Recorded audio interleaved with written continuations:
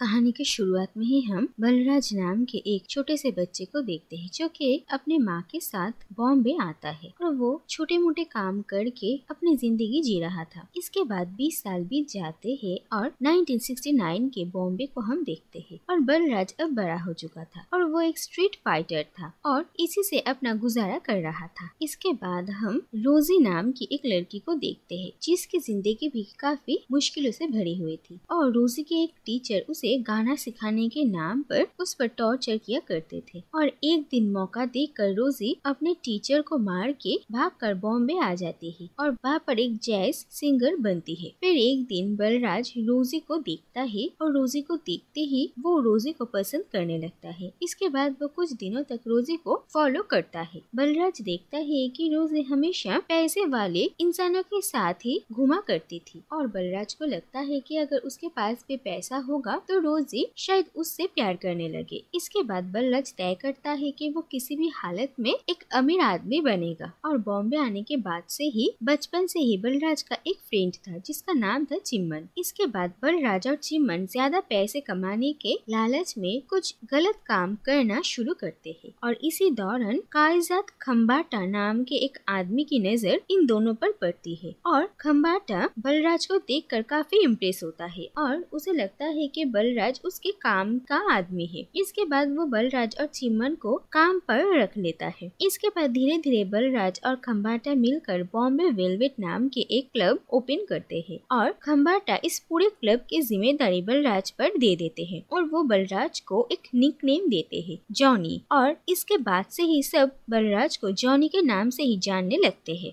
और बॉम्बे वेलवेट को संभालने के अलावा भी जॉनी और चिमन खम्बाटा के लिए कुछ छोटे मोटे काम भी किया करते थे। दरअसल खम्बाटा का बिज़नेस बहुत बड़ा था और उसके इलीगल बिजनेसेस भी थे, जो कि वो बॉम्बे वेलवेट क्लब के पीछे चलाता था। और इसी दौरान कुछ पॉलिटिशियंस बिजनेसमैन खम्बाटा के रास्ते के बीच आ रहे थे। और ऐसे ही एक मिनिस्टर की कुछ प्राइवेट फ़ोटोज़ खम्बाटा के कहने पर जॉनी लेता है। और उसके बाद उस फोटोग्राफ्स को दिखाकर खम्बाटा उस मिनिस्टर को ब्लैकमेल करता है और उसके साथ काम करने के लिए मजबूर करता है। दूसरी तरफ़, एक मीडिया रिपोर्टर को इन सारे फोटोग्राफ्स और ब्लैकमेल के बारे में पता चल जाता है और हम देखते हैं कि रोजी अब इसी रिपोर्टर के साथ रहती है और जॉनी ने भी इसी रिपोर्टर के साथ रोजी को देखा था और वो रिपोर्टर भी जानता था कि जॉनी रोजी के लिए पागल है। इसीलिए वो रोजी को जॉनी के पास भेजता है, जिससे कि रोजी जॉनी के साथ रहकर उसकी इंफॉर्मेशन उसे ला कर दे। और रोजी भी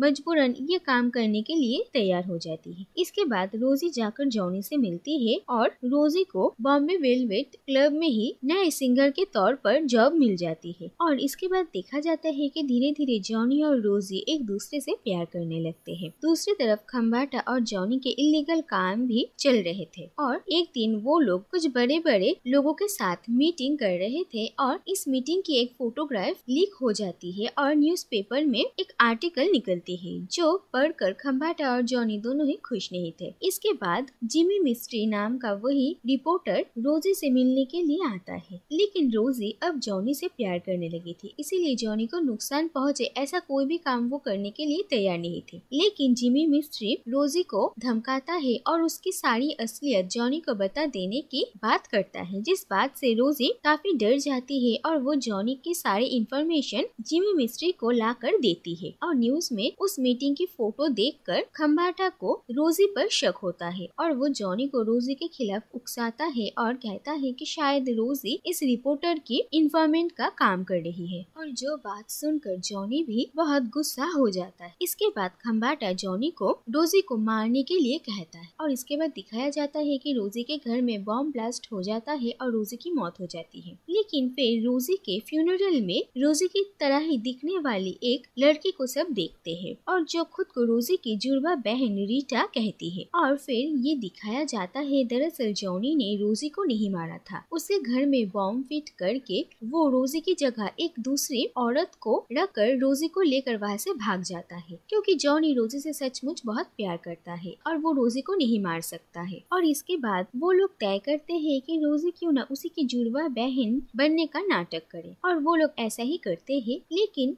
खम्बाटा और बाकी सब लोग रोजी को रीटा के रूप में देखते हैं। और उन लोगों को रीटा पर शक भी होता है और इसके बाद आखिरकार खम्बाटा को रोजी की असलियत पता चल जाती है। और इसके बाद जॉनी और खम्बाटा एक दूसरे से बात करते हैं और खम्बाटा जॉनी को धमकाता है। लेकिन इसके बाद जॉनी भी खम्बाटा को कहता है कि वो रोजी से दूर रहे, वरना खम्बाटा के लिए अच्छा नहीं होगा। और फिर जॉनी और खम्बाटा दोनों एक दूसरे के दुश्मन बन जाते हैं। इसके बाद खम्बाटा चिम्मन को जॉनी को मारने के लिए कहता है। वो कहता है कि जॉनी और रोजी अगर जिएँगे तो उन लोगों के लिए बहुत मुसीबत होगी और वो चिम्मन को इसके बदले बहुत सारे पैसे देने का ऑफ़र देता है। इसके बाद चिमन जॉनी से मिलने के लिए जाता है और वो जॉनी को सारा सच कह देता है। फिर जॉनी और चिमन को मारने के लिए खम्बाटा कुछ गुंडे भेजता है और इन लोगों से ही लड़ते हुए चिम्मन की मौत हो जाती है और चिमन की मौत से जॉनी बिल्कुल टूट जाता है। इसके बाद जॉनी रोजी से मिलता है और वो दोनों मिलकर खम्बाटा से लिपटने के बारे में सोचते हैं। इसी दौरान खम्बाटा एक दिन रोजी को किडनैप करवा लेता है और फिर वो बॉम्बे वेलवेट क्लब में ही रोजी को रखता है और इसके बाद खम्बाटा जॉनी को कॉल करता है और इसके बारे में बताता है। जो बात सुनकर जॉनी बहुत गुस्सा हो जाता है और फिर वो बॉम्बे वेलवेट क्लब में रोजी को बचाने के लिए आता है। लेकिन दूसरी तरफ़ खम्बाटा ने एक बहुत बड़े फाइटर को जॉनी के साथ फाइट करने के लिए रखा था। जॉनी पहले खम्बाटा के सामने गिड़गिड़ाता है और कहता है कि वो कोई लड़ाई नहीं करना चाहता, बस वो रोजी को छोड़ दे। लेकिन खम्बाटा जॉनी को गुस्सा दिलाने के लिए रोजी पर गोली चला देता है और कहता है कि कुछ ही देर में रोजी की मौत हो जाएगी। लेकिन अगर जॉनी चाहे तो रोजी को यहाँ से बचा कर लेकर जा सकता है। ये बात सुनकर जॉनी को बहुत गुस्सा आता है और पहले वो उस आदमी को मारता है, फिर वो खम्बाटा को